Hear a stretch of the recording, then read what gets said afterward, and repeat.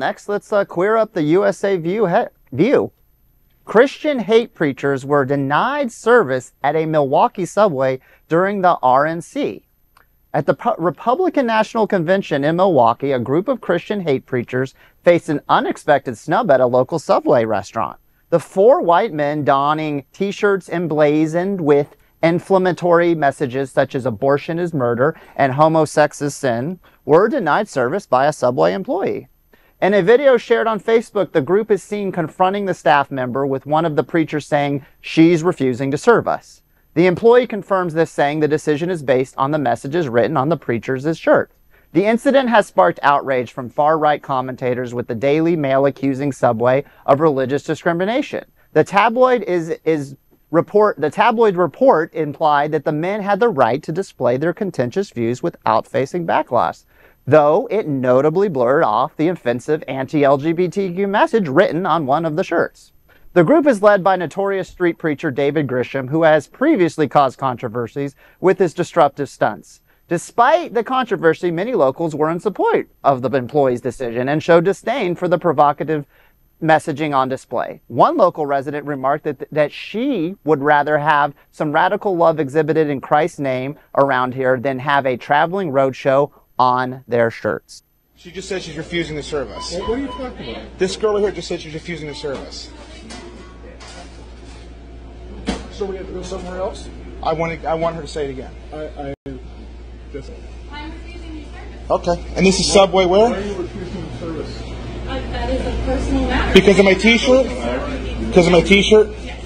Okay. I'm sure Subway Corporal would love to hear that. What does the shirt say? It's a very vital part of this. You say you were kicked out and not served because you were Christian. Now, when you say Christian, there are a lot of people who like to exploit religion for hate. Anyway, if you're anything like the commenters of that original video, you're asking the same question everyone's asking. What do the shirts say? I found their shirts. Is this you guys? Is this why they didn't serve you? Were these the shirts in question? These guys had just come from the RNC. And you know, they're probably against cancel culture or filming people and putting them online. But you know, when it works in their favor. So, uh, clickbait, the subway Karen. Um, not really seeing the Karen attitude, more like seeing somebody standing up for their principles. Now, you got to think about Subway and individually franchised, I can tell you that for a fact, but still a large corporation, might have a little, you know, backlash now. Um, what, what, what are we all thinking here? I mean, if somebody came, if I was an employee at a subway or anywhere and somebody came up with a t-shirt that said Latinos are rapists, I'm not going to serve you. Mm-hmm. And I have all the right in the world as maybe telling somebody else, hey, you serve them. Right, because I, I because I won't. Right, you know, I, I I love how they uh, title this um, "Refuse Service to Christians."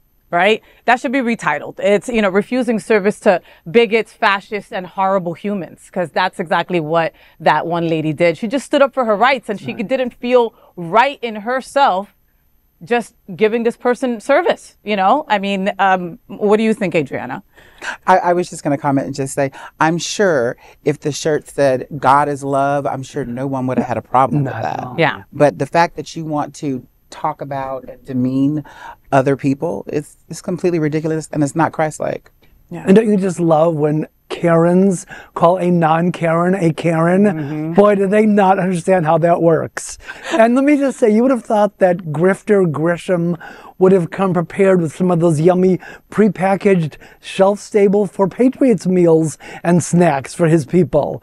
I guess they were too busy crowdsourcing the additional $657 they needed for their Milwaukee trip. Seriously, they were asking for supporters to send them 600 they were just 657 short. That's it. Can you help us? That's it. Yeah. Did you read that story about how the RNC basically almost took down Grindr because of how popular Grindr was at the RNC? Yes?